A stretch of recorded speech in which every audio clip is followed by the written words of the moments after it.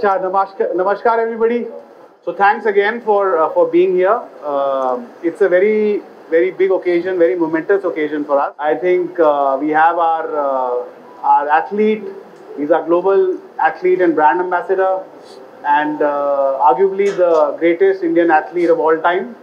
And we are so excited and happy and pleased to. Uh, you know, to partner him today or formally launching today our 36th store across the country. This is store number 36. It's also the third store in India. What is so special about it is not number 36 or number 3, but it's one of the most magnificent stores that we have in the country. And I have to tell you a personal anecdote that I have been waiting to open this store since 2018. Some of you may be aware, aapko ho sakta hai pata ho, Under Armour is an American athletic performance brand and founded in 1996 Or uh, in a very short period, in 15 to 20 years, it already became the third largest sports brand in the world. Under Armour की जो खासियत है uh, vis-a-vis all other sportswear brands is that A, it's focused on sports performance. So everything that athletes need, sports people need to succeed on the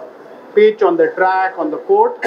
and secondly, the technology that is used in our product, especially our garment, is unique and patented and is not available to most other brands. बस देखो life की तरह ये भी चलता रहता है। हमेशा कॉम्पिटिशन्स आते रहते हैं और हमको दोबारा से फिर मौका मिलता है जीतने का उन्हीं कॉम्पिटिशन्स में।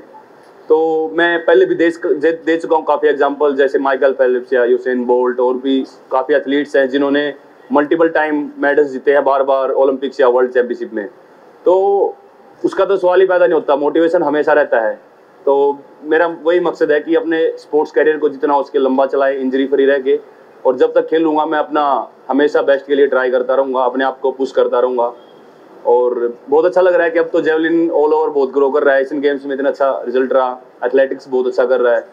तो ये चीज़ देख के बहुत मज़ा आ रहा है कि जो काम मैं कर रहा हूँ, वो अभी कितने लोग उसको सपोर्ट कर रहे हैं, कितने लोग जान रहे हैं। तो काफ़ी अच्छा लग रहा है और होपफुली आने वाले टाइम में ओलंपिक्स में हम पोडियम पे एक नहीं, दो दो, तीन तीन एथलीट्स खड़े हों। बिल्कुल एथलेटिक्स मुझे लगता है काफ़ी इवेंट्स होते हैं और अगर हमारा एथलेटिक्स स्ट्रॉन्ग हो गया तो बिल्कुल हम पोडियम पे अगर ज़्यादा से ज़्यादा फिनिश करेंगे और एक साथ हम इतना अच्छा ग्रो करेंगे तो फिर अपनी जो मेडल टैली में जगह रहती है, वो बिल्कुल ऊपर आएगी। और एथलेटिक्स ही नहीं, मुझे लगता है कि और भी स्पोर्ट जैसे शूटिंग आर्चरी ने बहुत बढ़िया किया और बाकी स्पोर्ट भी। मतलब इस बार तो कोई एक पर्टिकुलर स्पोर्ट में बोल ही नहीं सकता। सभी ने इतना अच्छा किया कि पिछली बार कहाँ सत्तर मेडल थे और अभी एक सौ सात मेडल है तो थर्टी सेवन मेडल्स इंप्रूव करना अपने आप में बहुत ही बड़ी बात है।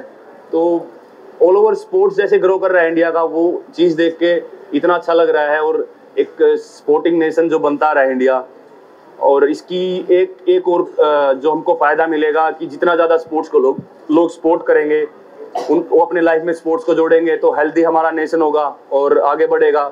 हेल्दी अगर है तो चाहे उसमें स्पोर्ट्स हो या कोई भी काम हो, आप बिल्कुल हंड्रेड परसेंट अपना फोकस से करेंगे और हंड्रेड परसेंट अपना एफर्ट लगा सकते हैं।